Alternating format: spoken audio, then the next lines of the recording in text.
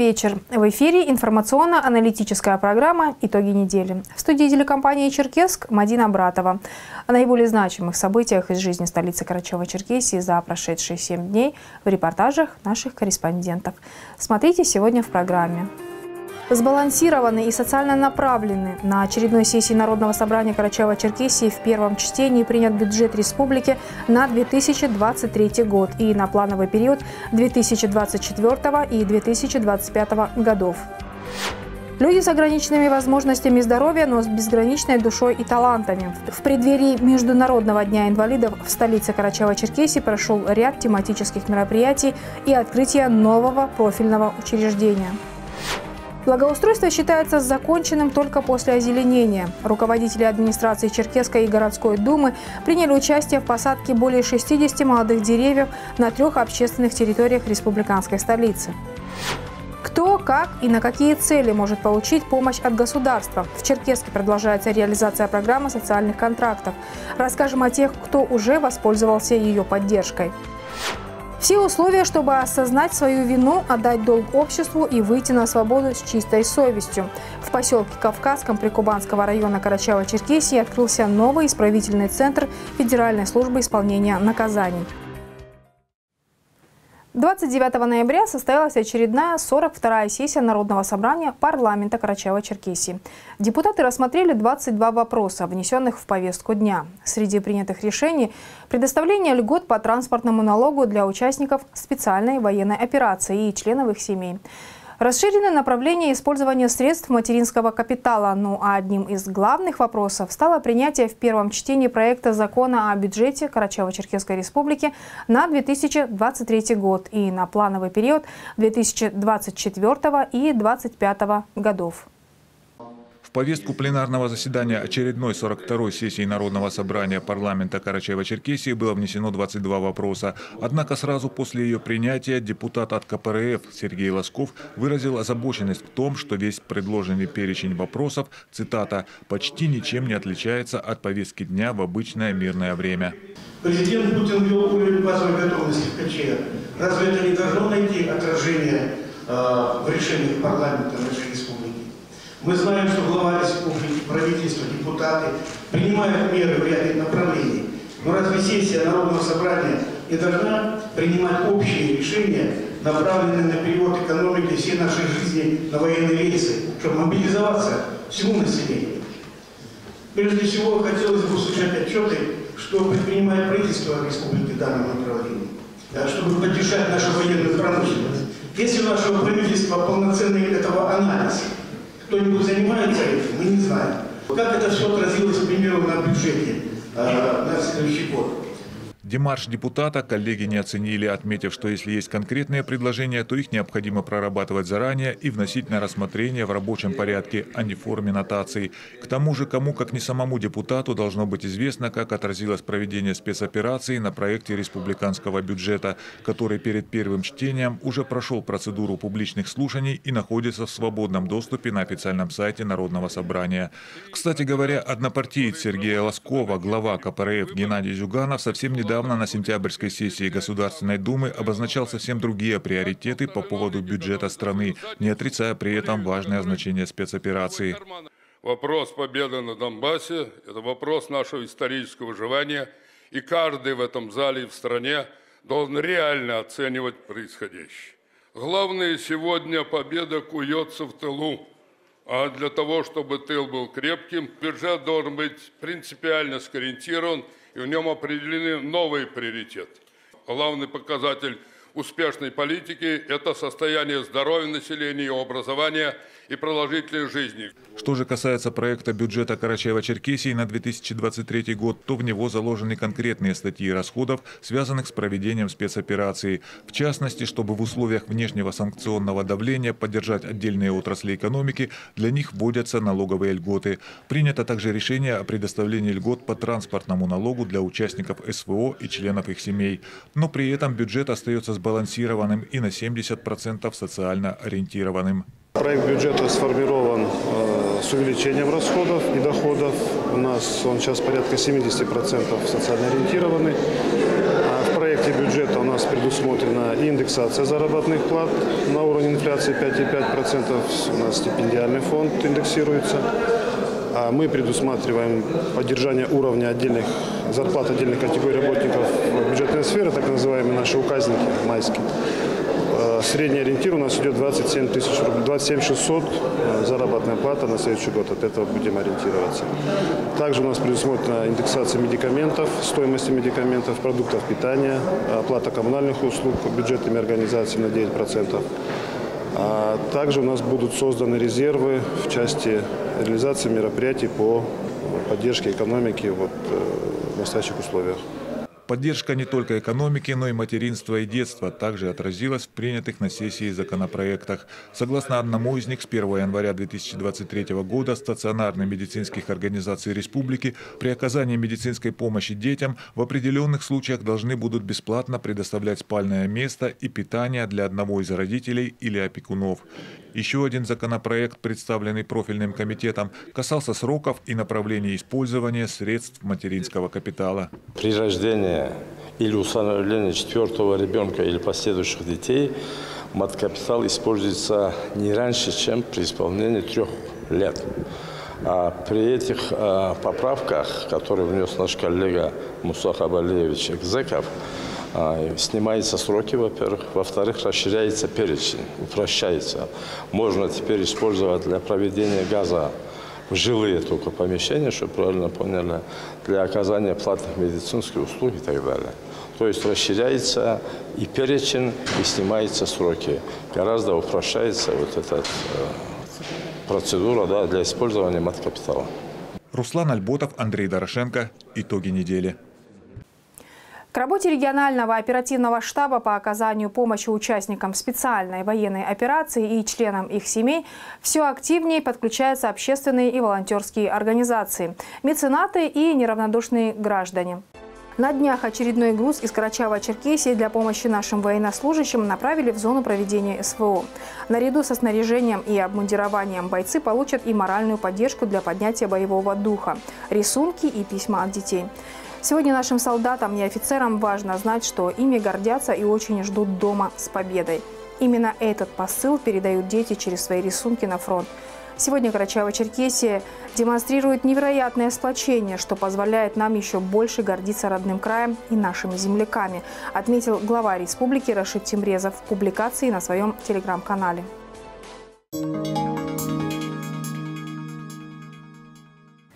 Как известно, 2022 год указом главы Карачаево-Черкесской республики Рашида Тимрезова объявлен годом людей с ограниченными возможностями здоровья.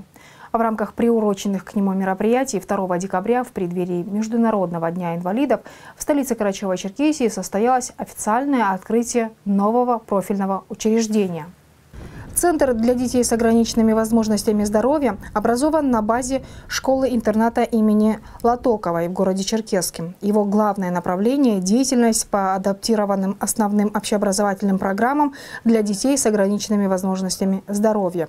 Это, безусловно, неоценимая и долгожданная помощь родителям в воспитании своих деток, в вопросе трудоустройства и социализации, в том числе и самих мам и пап. Все педагоги учреждения имеют высшую категорию, прошли необходимую переподготовку, а для воспитанников центра из отдаленных населенных пунктов есть возможность пребывать в нем круглосуточно. В новом учреждении, рассчитанном на 150 учащихся, созданы максимально комфортные условия не только для получения образования по адаптированным образовательным программам, но и коррекции физического и психического развития. Есть возможности развивать свои таланты, получать навыки и знания.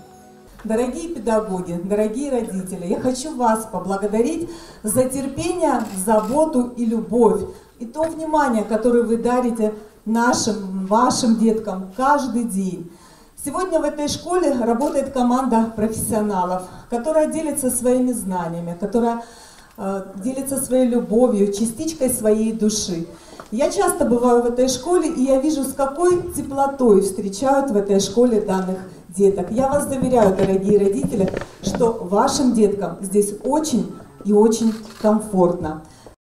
В продолжение темы. 3 декабря отмечается Международный день людей с ограниченными возможностями, признанный привлечь внимание общества к их проблемам. Он объединяет не только инвалидов, но и всех неравнодушных к их судьбе людей, которые стараются создать им благоприятные условия для жизнедеятельности во всех смыслах этого слова.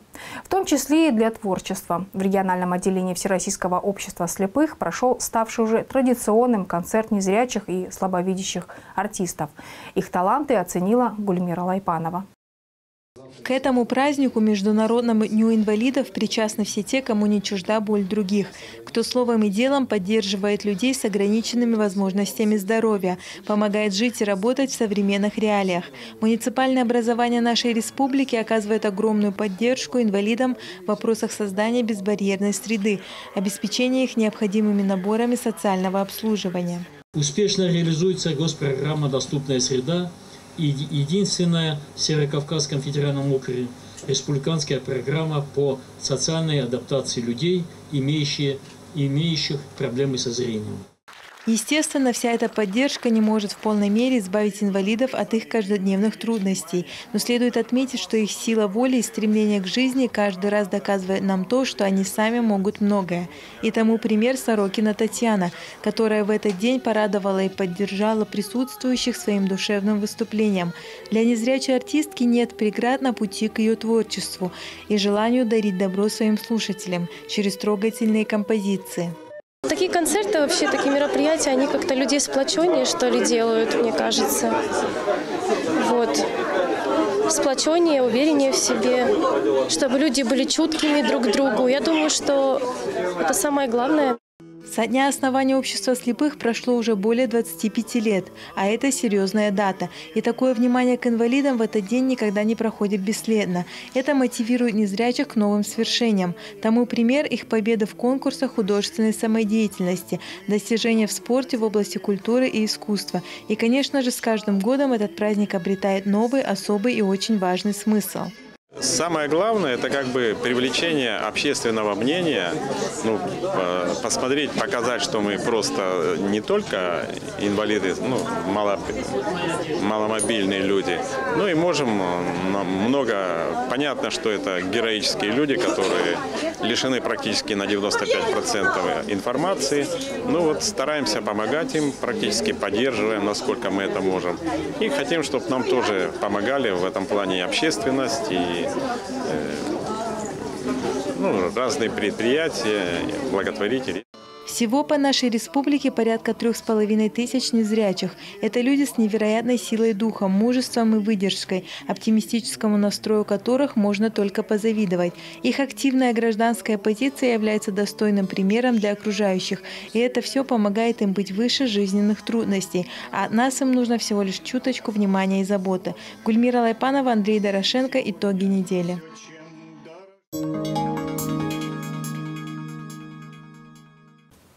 Благоустройство общественных территорий считается законченным только после озеленения, заявил мэр Черкеска Алексей Баскаев. И вместе с другими руководителями администрации города и Думы лично принял участие в посадке деревьев. Так, в новом сквере на проспекте Ленина, а также в Центральном парке республиканской столицы на минувшей неделе высадили более 60 молодых саженцев. Это краснолистный клен, кинга двулопастный, яблоня таринга, скарлет. Подробности в нашем следующем материале. Сквер на проспекте Ленина после благоустройства стал одним из самых популярных общественных мест республиканской столицы. Оставалось только провести его озеленение. Помимо специалистов зеленстроя, в посадке саженцев приняли участие и руководители отделов администрации Черкеска во главе с мэром города Алексеем Баскаевым. Новую общественную территорию украсят 4 шелковицы и 18 декоративных слив с яркой кроной. Все знают, деревья – это легкие города, поэтому наш город всегда был зеленый, и нам надо сохранять эти традиции, высаживать э, много деревьев. И на следующий год запланирована очень большая посадка. Эти деревья, которые мы посадили сегодня, они уже будут цвести весной будущей, и они очень красивые, с интересной э, красной листвой. В парке центральном мы посадим яблоню, и также еще посадим сливу. Это все очень такие интересные, необычные деревья. Ну и в целом, конечно, будем уделять большое внимание посадке по всему городу, и в том числе и в частности в парковых зонах. В акции по озеленению участвовал и глава города Валерий Дедук, депутаты Думы Черкеска, а также юные экологи, учащиеся гимназии номер 5 республиканской столицы. Это нужно для нашего города, его нужно украшать. И делать лучше. И делать лучше наш город. Я считаю, что это очень полезно и важно, потому что это наш город, и мы должны его беречь. Декоративная слива очень красиво цветет и, безусловно, украсит общественную территорию. Весной озеленение сквера будет продолжено, пообещал градоначальник. Специалисты зеленстроя высадят различные цветы и кустарники. Республиканская столица станет еще уютнее и краше. Следует отметить, что все работы по благоустройству, как и ранее, будут планироваться и проводиться с учетом мнения горожан. Мадина Братова, Миха Каракелян. Итоги недели. В 2020 году стартовала федеральная программа социальных контрактов для поддержки малоимущих граждан и стимулирования предпринимательской деятельности. Ее реализация активно идет и в столице Карачева-Черкесии. Напомним, что социальный контракт – это соглашение, в рамках которого учреждение социальной защиты населения оказывает гражданину помощь, а он, в свою очередь, обязуется реализовать мероприятия, предусмотренные программой социальной адаптации. Кто, как и на какие цели может получить помощь от государства, в репортаже Руслана Альботова. Программа социальных контрактов, согласно постановлению правительства Российской Федерации, с 2021 года действует во всех регионах страны. Малообеспеченные и безработные граждане могут заключить соглашение с органами соцзащиты и получить финансовую помощь от государства. Семьи с детьми имеют приоритетное право. Но в отличие от выплаты пособий, цель социального контракта – помочь нуждающимся поднять уровень дохода, перейти на самообеспечение и улучшить свою жизнь в долгосрочной перспективе. Иными словами, дать им не рыбу, а удочку удочку. Важная особенность программы заключается в том, что выплаты могут использоваться только по целевому назначению. Первое – это а, поиск работы. Социальный контракт здесь может заключаться на срок а, до 9 месяцев. А, при этом в рамках социального контракта, пока человек ищет работу, выплачивается пособие в размере прожиточного минимума. Второе направление – это осуществление предпринимательской деятельности. Он может быть заключен на срок до одного года. Сумма выплаты будет составлять до 250 тысяч рублей. А, третье направление – это ведение личного подсобного хозяйства. А, в программе социальной адаптации у нас а, обозначены будут и сроки, и мероприятия, которые должны быть выполнены в рамках социального контракта. Семья или гражданин, заключивший социальный контракт, составляют установленные программой отчеты о расходовании предоставленных средств. Если социальный контракт не исполнен, мероприятия не исполнены, тогда средства, выплаченные в рамках социального контракта, нужно вернуть. В прошлом году в Черкеске было заключено 223 социальных контракта. В этом уже 350 при запланированных 380 на сумму более 32 миллионов рублей. Из них около половины на осуществление предпринимательской деятельности. Мы уже неоднократно рассказывали о жителях республиканской столицы, которые воспользовались этой мерой господдержки. Кто-то из них открыл тренажерный зал, кто-то швейную мастерскую или маникюрный салон, кто-то кружок дополнительного образования или собственное производство продуктов питания как, например, Лаура Жадаева-Гаджиева. Выпечкой кулинарных изделий она увлекалась еще в школе, позже решила совместить приятное с полезным и начала потихоньку искать клиентов и реализовывать свою продукцию. Однако для расширения любого бизнеса требуется его модернизация. Собственных средств на это у Лауры не было. Брать кредит тоже рискованно. Тут-то она и узнала, что есть возможность получить финансовую помощь от государства. Не у всех же есть возможность купить вот сходу, вот сразу, допустим, вот те же вот две игрушки, морозилку, печку. Ну, ну, не у всех бывает, вот, что в кармане лежит такая сумма сразу. А государство, слава богу, помогло. Я попробовала, представила бизнес-план, а, принесла продукцию, всем понравилось. А, в Собезе были очень добродушные. Комиссия, когда меня уже выслушивала комиссия, чтобы принять решение, тоже очень вежливые, очень добродушные. На тот момент давали 250 тысяч, я получила 200 и сразу пошла по магазинам, как говорится покупать все, что мне нужно. Лаура приобрела духовой шкаф для выпечки, большую морозильную камеру и сушилку для фруктов и производства пастилы. Средств, полученных в рамках соцконтракта, на все это оборудование не хватило, пришлось добавить свои. Но зато теперь удалось расширить свой бизнес и вывести его на профессиональный технологический уровень. Теперь дело за малым. Осталось отчитаться о выполнении своих обязательств по социальному контракту. Отчитаться за средства, куда они потрачены, и каждый год предоставлять отчет о том, ну, о проделанной работе. Глядя на такие примеры, все больше людей проявляют интерес к социальным контрактам. Они приходят за консультациями и начинают собирать пакеты документов. Стоит отметить, что каждый случай рассматривается индивидуально. Совместно с заявителем составляется проект программы социальной адаптации, после чего она должна быть утверждена муниципальной межведомственной комиссией. Руслан Альботов, Андрей Дорошенко. Итоги недели.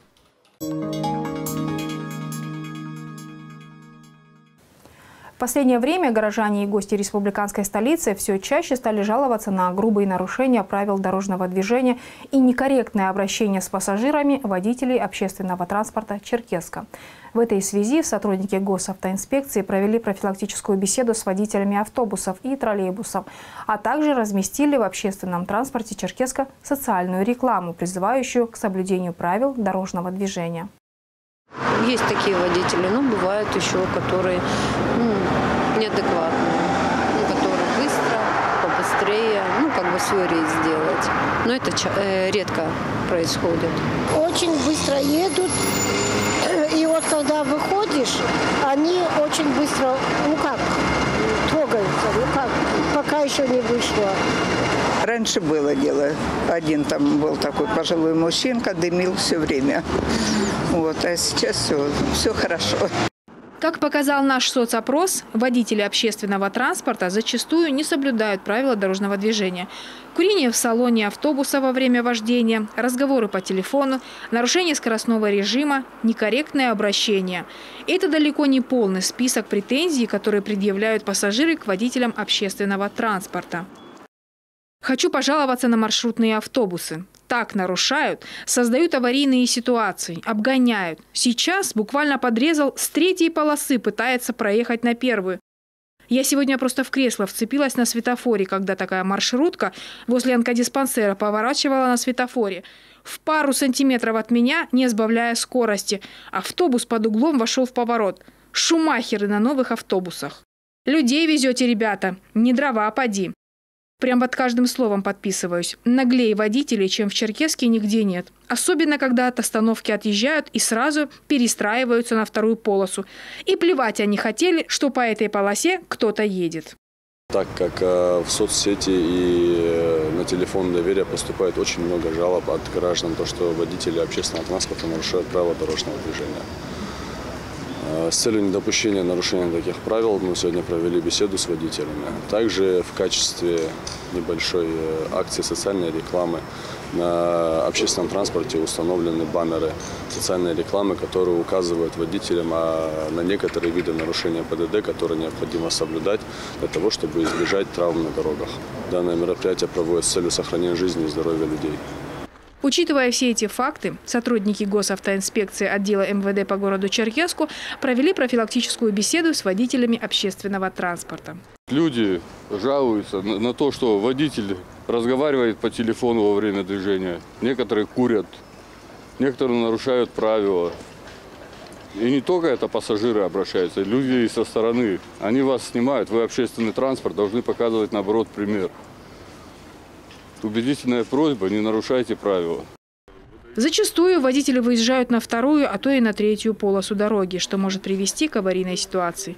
Сами сотрудники Черкесского пассажирского автотранспортного предприятия объясняют это тем, что дороги Черкеска в часы пик слишком загружены. И выезд на вторую полосу – это вынужденная мера. Пока у нас не будет для общественного транспорта э, линия, первая линия, вот им приходится иногда вот выезжать и, и на вторую, и на третью бывает, да, вот это у нас на сегодняшний день. На остановках, вот где вот, э, где вот эти магазинчики, все это бывает, когда разгружают вот это все, ну, вот для, для наших автобусов вот это. Но так или иначе для дорожного движения не зря придумали правила. И расхожее выражение «не дрова везешь» отнюдь не главная причина, чтобы их соблюдать. Независимо от того, одушевленный ли груз в салоне, хотите вы этого или нет, вокруг другие участники дорожного движения, жизнью которых рисковать нельзя ни при каких обстоятельствах. Ну а бесшабашным водителям стоит задуматься о том, что среди пешеходов или пассажиров вполне могут оказаться и их близкие. Мадина Братова, Андрей Дорошенко, Миха Каракелян. Итоги недели. Осознать свою вину, отдать долг обществу и выйти на свободу с чистой совестью. В поселке Кавказском Прикубанского района Карачаева-Черкесии открылся новый исправительный центр Федеральной службы исполнения наказаний. В новом учреждении созданы все необходимые условия для содержания 130 осужденных и выполнения ими принудительных работ. На открытии исправительного центра побывала и наша съемочная группа. Исправительный центр номер один поселка Кавказский предназначен для содержания осужденных к принудительным работам. Помимо отбывания установленного судом срока, главная задача этого центра – это, конечно же, становление осужденных на путь исправления. И здесь для этого созданы все необходимые условия. Находиться в этом центре будут лица, совершившие преступления небольшой степени тяжести. Будет э, дополнительно э, рассмотрен вопрос по размещению контингента осужденных до 400 человек на территории агрокомбината «Южный». Э, уже э, бизнес-сообщество имеет интересы по расширению данного вида наказания, исполнения наказания. И есть определенные наработки у правительства. Остается работа по линии УФСИН по созданию условий нормативных для содержания осужденных э, в субъекте ну и, соответственно, первая ласточка – это открытие данного исправительного центра, который оборудован в соответствии с требованиями законодательства по всем э, федеральным стандартам. Этот исправительный центр рассчитан на 130 осужденных, 118 из которых мужчины. Мужские и женские комнаты расположены на разных этажах. Это 30 жилых комнат с условиями максимально приближенными к комфортным. Здесь есть все необходимое для удобного пребывания. Пищеблок и столовая, прачечная для стирки и сушки белья, душевые и бытовые комнаты, а также немаловажный аспект – комната для отправления религиозных обрядов.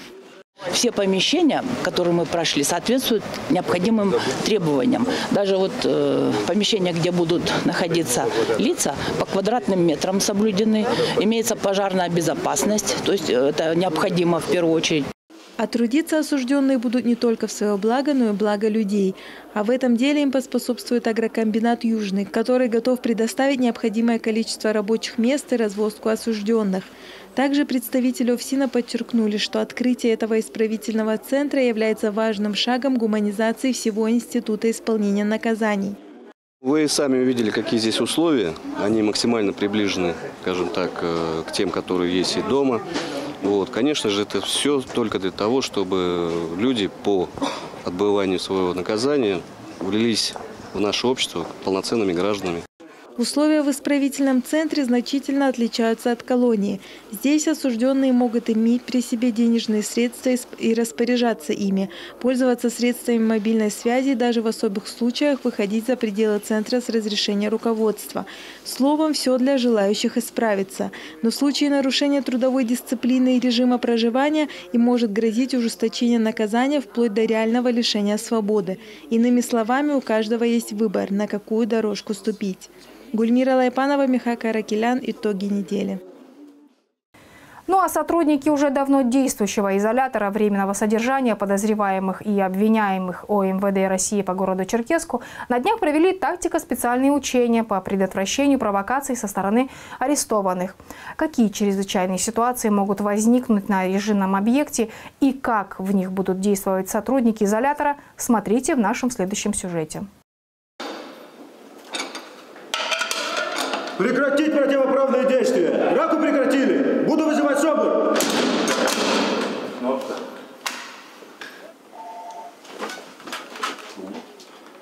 Есть. Оставлю сейчас здесь.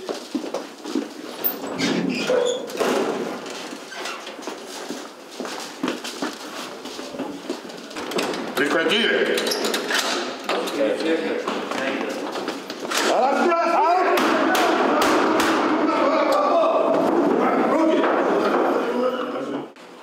Тактико-специальные учения в изоляторе временного содержания города Черкеска проводятся периодически. Действия стражей правопорядка в случае возникновения чрезвычайной ситуации должны быть отработаны от и до. На этот раз были спроецированы три возможных сценария ЧП, при которых арестованные устроили провокации с целью побега.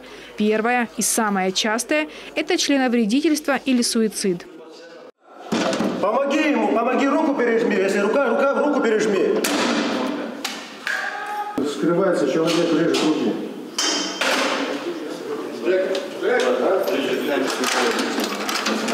Отошли от двери. Один. Выходим по одному. Выходи сюда. Выходи. Там, порезано там. Да. Одного. Руки на стену ставь.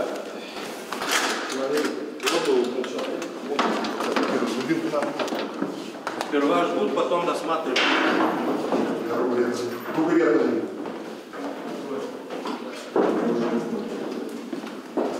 Стене рассматривать. Вверх держи. Выходим. Аккуратно. Ко мне лицо, ко мне лицо, ко мне лицо. Время фиксируется, когда затянули жгутом не более двух часов, то есть оказана доврачебная помощь. Э, помощник дежурного вызвал скорую, помощник дежурного позвонил э, дежурную часть отдела МВД России по городу Черкеску и уведомил руководителя отдела. Все, до приезда скорой помощи э, подозреваемый, который нанес себе членовредительство, в медкабинете будет ожидать приезда кареты скорой помощи. Еще одна из самых распространенных чрезвычайных ситуаций, к которой прибегают задержанные, чтобы осуществить свои планы – это пожар.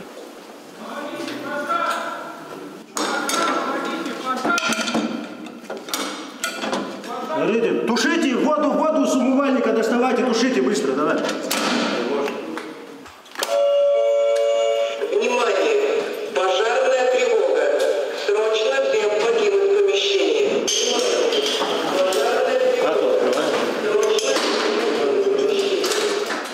Выходи. Лицом к стене.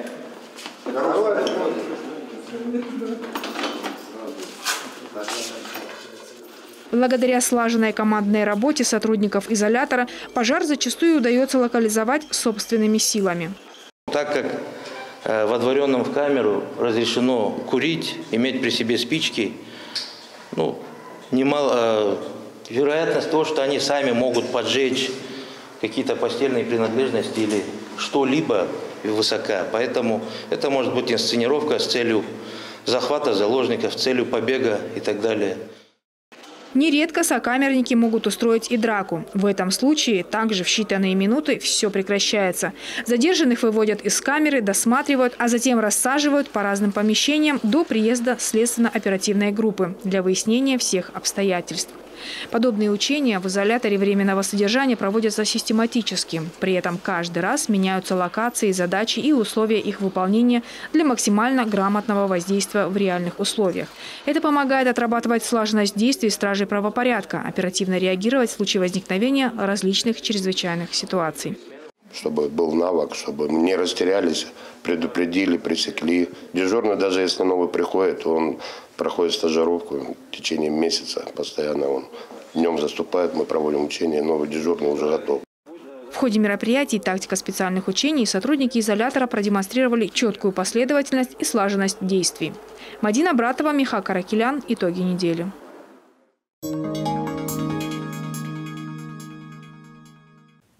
На базе гимназии номер 19 Черкеска на минувшей неделе состоялась техническая апробация проведения единого государственного экзамена по русскому языку.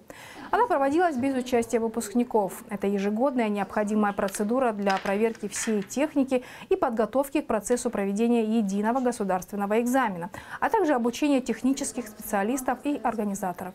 Техническую апробацию также провели в пунктах 5, 9 и 18 гимназии республиканской столицы. В 10.00 начинается распечатка работ. То есть по факту, сколько детей явилось в 10.00, а, столько работ и распечатывается. А каждая работа проверяется на брак, на то, чтобы было очень четко все видно. Затем а, работы раздаются детям. Если вдруг ребенок опоздал на экзамен по какой-то причине, то Он проходит в аудиторию, вызывается член ГЭК и опять-таки запускается дополнительная работа. То есть распечатать больше работ, чем находится детей, невозможно. Затем дети выполняют работу, заполняют э, бланки и выполняют работу. А после окончания экзамена э, дети сдают все свои работы, организатор собирает у детей работы и сканирует их. То есть ставит сканер и производит сканирование всех работ. Как только сканер говорит о том, что все работы отсканированы, все успешно, а организатор может э, запаковывать работы. Сегодняшняя апробация прошла во всех школах в штатном режиме согласно плана и графика. Но это не, не единственная апробация будет, потому что в текущем году сегодняшняя апробация будет, и уже на следующий год, уже с начала года будут еще э, несколько, две-три апробации будут во всех, во всех организациях. Столице Карачева-Черкесии продолжаются соревнования по различным видам спорта, которые организованы в рамках акции регионального отделения партии «Единая Россия. Спорт детям». Состязания проводятся в поддержку российских военнослужащих, участвующих в специальной военной операции. Так, в минувшую субботу состоялись сразу четыре турнира. В 15-й гимназии Черкеска состоялось первенство среди школьников по баскетболу. На стадионе «Нарт» в скорости и прыгучести состязались легкоатлеты. Кикбоксеры выясняли отношения в зале единоборств, ну а физкультурно-оздоровительный комплекс «Купол» стал местом боев на боксерском ринге. Победу одержал боксер синего угла Бастанов Али, город Черкесск. Таковы некоторые итоги прошедшей недели. Напоминаю, что все наши репортажи и актуальную информацию вы можете посмотреть на официальном сайте телекомпании «Черкесск» и на наших страницах в социальных сетях. Встретимся в следующее воскресенье. Всем удачи и больше хороших новостей.